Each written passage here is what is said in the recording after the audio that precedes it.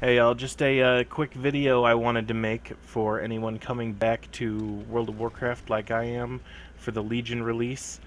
Um, there was an add-on that I used back before that has changed um, quite a bit. Well, I say quite a bit, but actually you can make it behave just like it used to, which is sort of what I'm going to be doing here. Um, it's called ArkInventory, and it's an all-in-one inventory mod. Um, one of the you know, things like Bagnon or all-in-one inventory, like that. There it is. And the great thing about ArkInventory is that it lets you sort things however you want. Like, basically, uh, before, when you installed it, you would be able to go up here to this edit mode thing and click it, and then go to the second bar. Let's say you wanted the second bar of your inventory to contain all your soulbound items. You'd right click and you'd select the soulbound category, but as you can see, this menu now says locked. Locked, locked, locked. I've been told some people aren't getting this when they install. Um, I don't know. But I did, and I figured out after I was really like upset. I made an angry post on WoW Interface. I've deleted it since, but that's beside the point. Just running my mouth trying to be useful and helpful now. Let's talk about how to get these menus to unlock. So first of all, we want to get out of edit mode. So you've got your standard inventory here, and you can actually, you know, click restack on it, and it'll sort things out uh, pretty nicely for you but it's still, you know, a big jumble of icons. It's better to have them with a little more separation, in my opinion. So let's go to the bag in the top left, and then click it and click config. And we're going to come to this big configuration thing with a lot of things that uh, that you don't really need to be concerned with. Um, and the main thing we want to look at here is this. So uh, under controls, under bag, if you see this uh, 9999 asterisk default for your style and your layout, that's what's causing those things to lock up. Uh, if you can select 1000 default, that's what you want to do. If you can't select 1000 default, what you can actually do is go to um, settings here on the left and then click designs. Alright, so designs. And you can just make one and we'll name it like design 1 and just hit OK on it.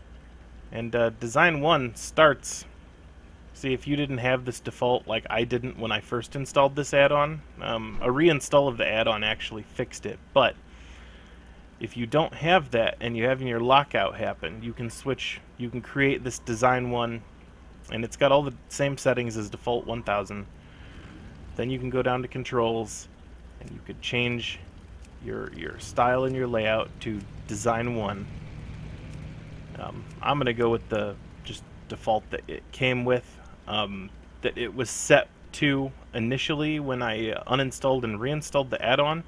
I may have just gotten a bad version and I'm making this video for nothing, but let's just assume that you actually need to do this. So you want to make sure you're not on that 9999 asterisk default thing because that won't let you do what the old ArkInventory add-on let you do. So we're gonna you bank everything else that you want ArkInventory to handle. You want to make sure you got those that style and layout just like that. The the, the category set I don't think it really matters, but close out. And now, when we hit edit and we right click, we get the old style menu that'll let you do, you know, everything that you used to do. Like now I can go to system and um, I don't know why these numbers exist in front of the item sets now. They just do. But you can now do like equipable items, soul bound, account bound, we can just do all equipable items in one set. Or maybe you decide, no, I don't want to. I don't want to have the, the stuff that's not soulbound or account bound there. Let's let's remove that from that. And let's put the equipable items that aren't soulbound in window number three. And if you turn off edit mode, now you can see that you've got sectioned off bits of your window that contain these things. Um, all your bag's empty slots are by default showing up in, in bag 1. That's actually due to the... Um, uh, let's see. See, if you're in another bar, it shows you where things are at. These are in number 2. This is in number 3. And um, this is just default bag slash slot is the sort method. You can change the sort method to rarity or name or vendor price, etc. So like let's change it to rarity.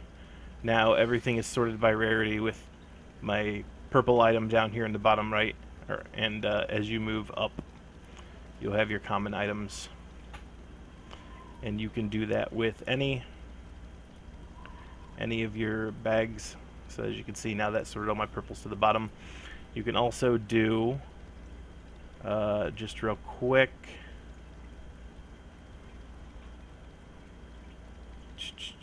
There was uh, there was a way to reverse reverse the order. Uh, I think that's just under config. If you go to config Oh well, anyway. I'm I'm thinking there's a way to reverse the order, but that's more advanced stuff. So now like this is basically all you need to know.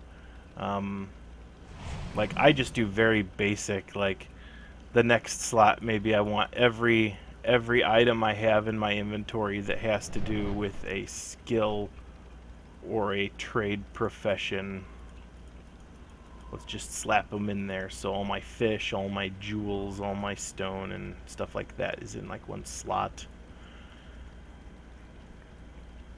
And then I like to do uh, consumables. All my consumables in another like I you can you can subcategory it however you want. Like let's say maybe maybe you don't like your your food being in here. We go to consumables. Um, here, the stuff that's added. We'll go to uh, food. Let's move it to. You click move there. And then you go to the bar where you want it to move and you click move complete. Bam. That's just going to move to there. Or, you know, easier in my opinion is that you can just snatch away from five. You can just you like move it here. I know you still have to do move complete.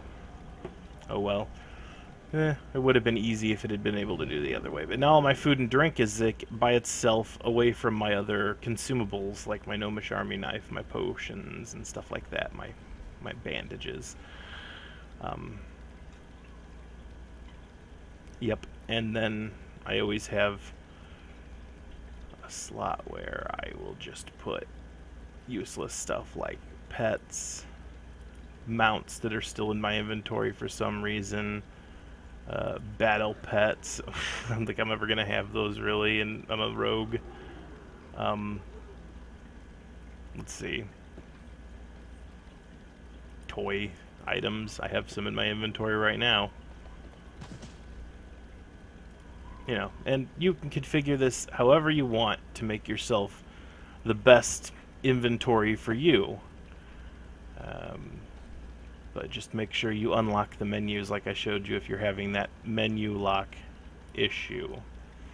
So, that's all. Have fun.